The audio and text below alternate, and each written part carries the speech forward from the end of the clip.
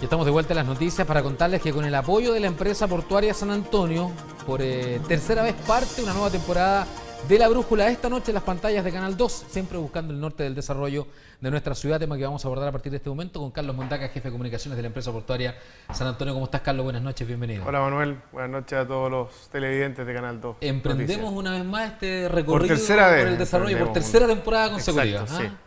Eso demuestra que ha sido una muy buena apuesta de la empresa portuaria y Canal 2 poder mostrar algo de San Antonio para los sanantoninos.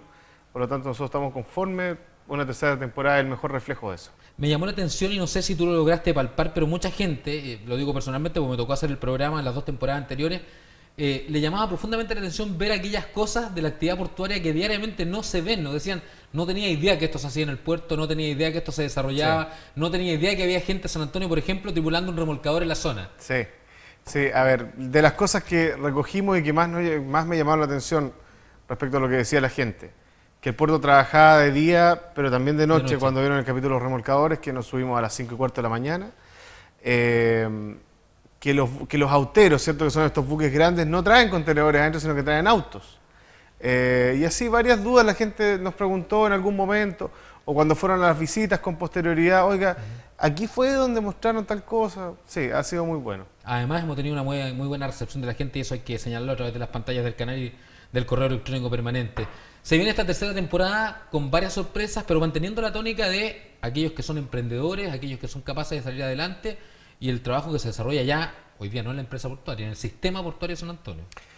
Así es, la empresa portuaria San Antonio, desde que partió la primera temporada de la Brújula a este momento, ¿cierto? Ya no somos operadores portuarios, tenemos licitado eh, el último terminal a Puerto Central, que lo está haciendo muy bien, ya hemos podido ver las tasas de transferencia de vehículos que, que tiene. El año pasado Puerto Central movió 238 mil vehículos, el terminal que más movió si lo comparamos con Valparaíso, 106 mil, o sea, muy, muy, muy por delante del terminal que lo sigue.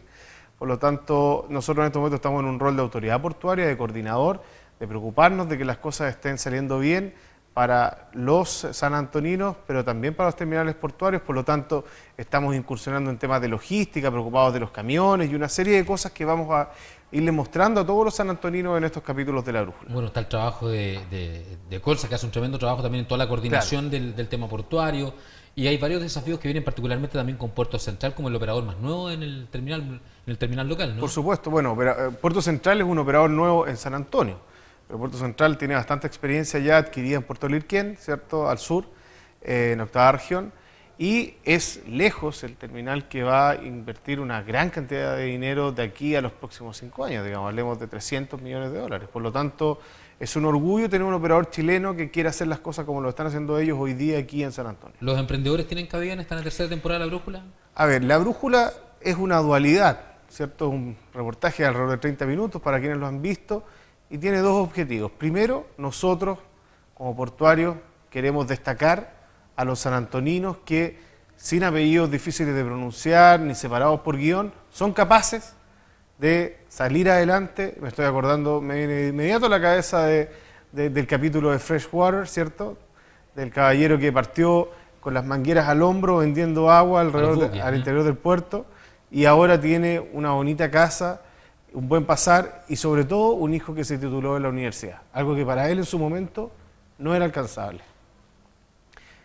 Y la segunda derivada de este mismo programa es poder acercar al San Antonino que vea el puerto desde la línea del tren y no puede entrar por la norma de seguridad de SPS, por las faenas que se generan ahí, contarles qué es lo que está pasando al interior del puerto. Aprovecho la oportunidad de mandarle un saludo a nuestros exportuarios, que son cientos y miles en San Antonio, y que son ellos los, que, los causantes de que nosotros hoy día podamos estar haciendo estas cosas. Que han construido parte de esa historia. Por supuesto. Bueno, la invitación entonces, Carlos, hoy día a las 10 de la noche, la tercera temporada de la Brújula, e invitar a la gente que quiera participar en el programa. Hay historias, me imagino que habrá muchas historias que contar de muchos sanantoninos también. Por supuesto, bueno, tú tienes más, mejor el, correo. Nosotros invitamos a todos los sanantoninos que tengan algo que mostrar, que tengan algún emprendimiento, acérquense a Canal 2 y nosotros con la Brújula vamos a ir hasta el lugar y vamos a mostrar su emprendimiento. Eh, en San Antonio se pueden hacer las cosas, se pueden hacer bien y uno puede vivir aquí sin problema, si tiene ganas, si tiene esfuerzo, si tiene garra. Y hay muchos sanantoninos que están haciendo eso todos los días y nosotros queremos mostrarlo. Bueno, yo lo sé a usted que está pero ultra radicado aquí en San Antonio. Así es. Gracias, Carlos, por estar esta noche con nosotros. A ti.